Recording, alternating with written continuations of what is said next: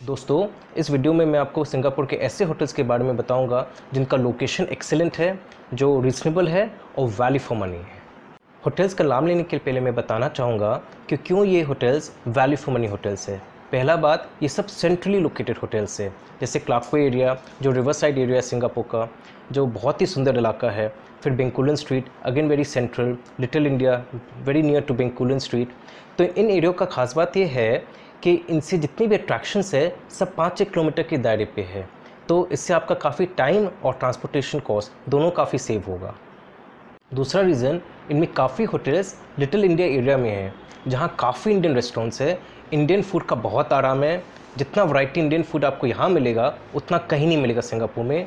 ये आपको तब एहसास होगा जब आप शाम को थके हारे आओगे घूम फिर के और आपको बढ़िया खाना खाने का मन करेगा। तो इससे बढ़िया लोकेशन कहीं नहीं है इंडियन फ़ूड के लिए।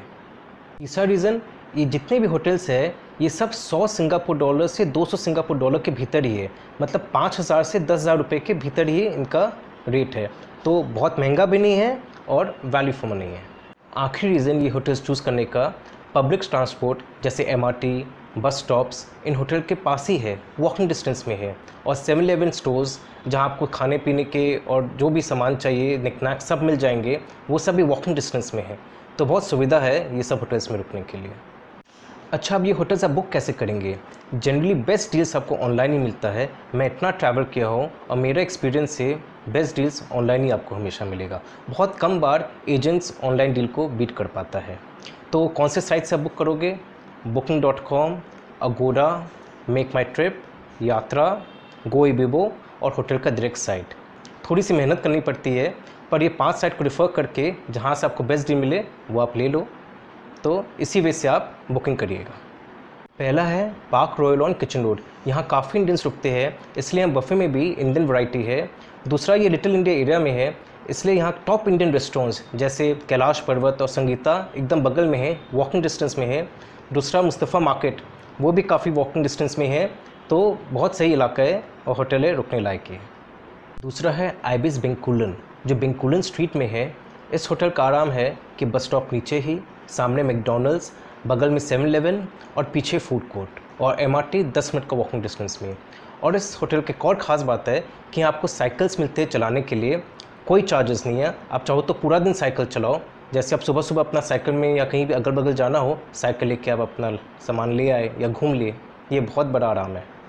फिर हॉलीडे इन एक्सप्रेस जो क्लाकू एरिया में है, बहुत ही बढ़िया इलाका है। ये सिंगापुर का यहीं रिवर फ्लो करता है और आइकॉनिक स्टैचू लाइन जिसका मुँह से पानी निकलता है, ये भी यहीं है। इस होटल का रूफटॉप स्विमिंग पूल है, जो बहुत ही बढ़िया है।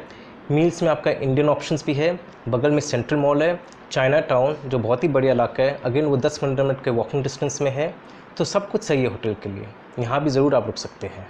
फिर है पार्क रेगिस जो अगेन क्लाकू एरिया में इसका स्विमिंग पूल बहुत ही बढ़िया है, बहुत ही बड़ा स्विमिंग पूल है, कास्केडिंग वाटरफॉल है, एमआरटी भी बगल में ही है तो ये भी बहुत बढ़िया होटल है, रुकने लायक।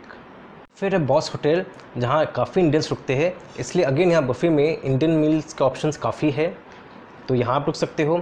फिर है होटल यान, यहाँ का सर्विस इज़ फंटेस्टिक, ये भी लिटिल इंडिया में है तो ये भी बहुत बढ़िया इलाका है, रुकने लायक। और फिर है होटल आर्सीडिया ये भी बढ़िया है, लिटिल इंडिया में है तो यहाँ भी आप रुक सकते हो। तो ये जितने भी होटल्स है, ये सब आप देखिए, ये तीनों लास्ट में मैंने जो होटल का नाम बताया, ये सब लिटिल इंडिया में है। तो इनका लोकेशन बहुत ही बढ़िया है specially for Indians who want to have Indian food तो सही है जगह, ये तीनों होटल्स रुकने के लिए। रीजनेबल भी है ये तीनों hotels compare to other hotels जो मैंने शुरू में कहा। अगर आपको मेरा वीडियो पसंद आया तो ज़रूर लाइक और सब्सक्राइब करेगा इससे मुझे प्रोत्साहन मिलता है और वीडियोज़ बनाने के लिए। Thank you